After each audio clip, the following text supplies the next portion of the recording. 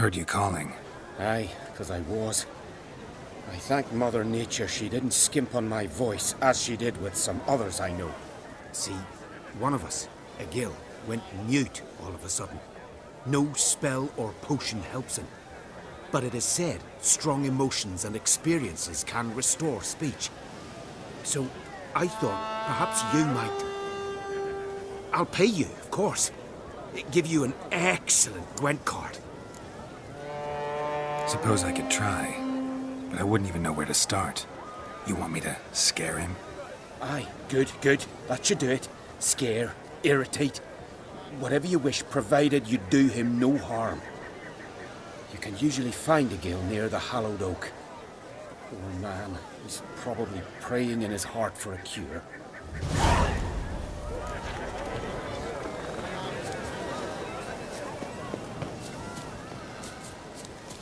Pots. Stand to make a lot of noise.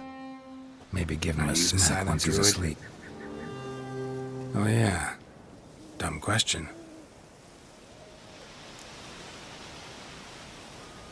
They ever try to cure you some other way? Give you potions or herbs? Hmm, not just mute. Seems he's deaf, too. When do you lose your voice? Can you show me? Hold up some fingers? Charming man. Hmm, doesn't look like we'll figure much out talking. So long. Talking won't get me anywhere. Maybe he'll say something if I put out his fire.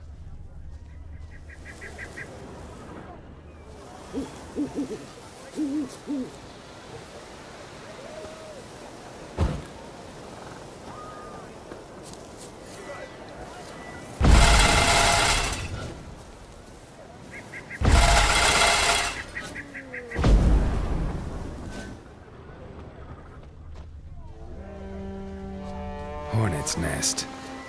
Known to have therapeutic uses. In shock therapy, for instance.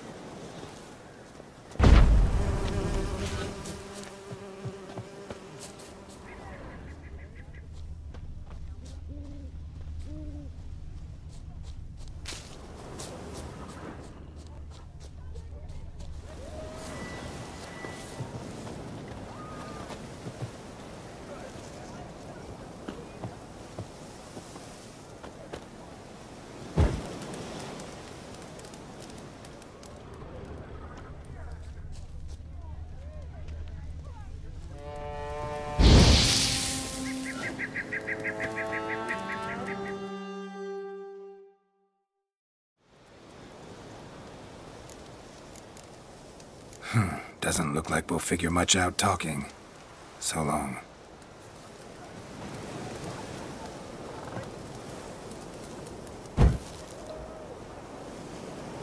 Piss off already, you... Oh, nay. I, I vow of silence. Oh, for no.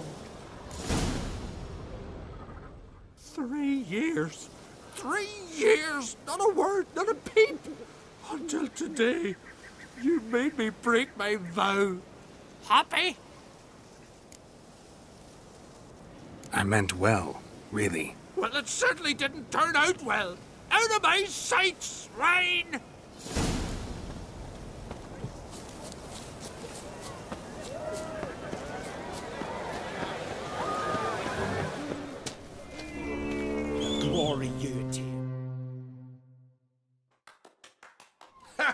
Heard him screaming clear over here. Grand work, Witcher. Your reward, as promised. Don't like being played for a fool. Remember that. Or next time, you'll be the one left speechless.